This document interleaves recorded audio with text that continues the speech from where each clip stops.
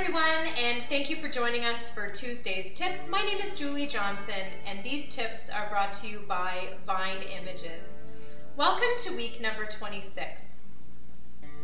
This week, I'm going to share an insight into how I took a certain shot that everybody's been asking about. So as you can see right now, here's the shot um, that I took. This is the edited version that was posted um, on my Facebook page. And everybody was asking, you know, how did you take this? And was the baby really on the tire? And I have to say, yes, the baby was really on the tire. Um, right now, you're going to be looking at the original image that was taken straight out of the camera. And then I'm going to take you through step by step how I got to the final product. Okay, so here we are. I'm just doing the um, marquee tool around the left-hand side of the image because what we're going to do is copy this side of the page. So I'm going to feather it at about um, 10 and then we're going to copy it and we're going to paste it and um, we're going to flip it onto the other side. So here we go. We're going to move it over. We're just going to try and match up the tire a little bit. And um, what we want to do is, uh, is to get rid of the mum's um, arm there. So now we're just going to erase around the tire and uh, get rid of those lines there. Get rid of the baseboard and uh, there we go. We're just going to change the opacity there on the eraser. And here we're going to erase more around the tire, the middle there.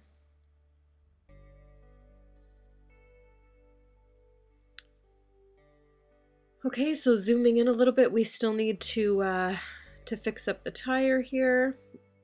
We're gonna make the brush a little bit uh, not so feathered. Can erase a little bit more here. There we go, it's looking a bit better. Good, so those last minute uh, little details will clean up. And I'm just doing this really quickly for you just to just to give you an idea of how you would do this. So we're going to take the clone stamp now and uh, we're going to flatten the image there. And uh, the benefit with CS5, and, and I think it's with um, CS3 and possibly CS2, I'm not sure, but the, um, the history eraser tool is such a fantastic tool. Um, you can go back and uh, and just erase over anything that you've done that uh, that you weren't happy with, and it'll take you back to the original image. So now we're just gonna clone around here. We're gonna clone out the um, the thumb there Okay, so we're just trying to keep this as smooth as possible. Again, guys, I'm just trying to do this quickly to uh, to show you. But you could zoom in even uh, even further and clean it up a little bit more. So here we go. Okay, so we're just taking the last minute kind of details. Then, uh, okay, we're going to get a softer brush, move in here, kind of clean it up a little bit.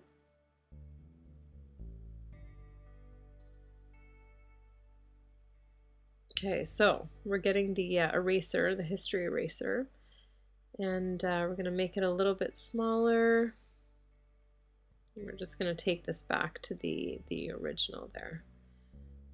Okay, just went a little bit too far. You can go back in your history. That's what we just did. Okay, looking good.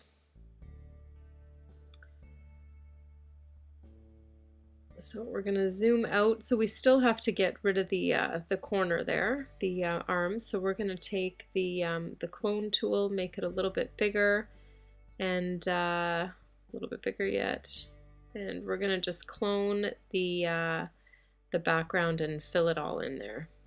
And we have it feathered, uh, so it's a nice um, nice consistency there, not too hard. Okay, so then what we're going to do after we're done this is uh, we're going to go back to the um, history and uh, we're going to change the opacity back to get it back to the original um, background. So We're going to feather it as much as possible, kind of take this off so it kind of blends. And um, and then we're going to change the opacity. And there you go. It's starting to, uh, everything's starting to blend there. Looking good. And there you have it. So the, um, the arm is completely out of the picture. I just want to thank you so much for joining us for Tuesday's tip. And I hope you got something out of this one, and we will see you next week. Have a great day, everybody. Bye.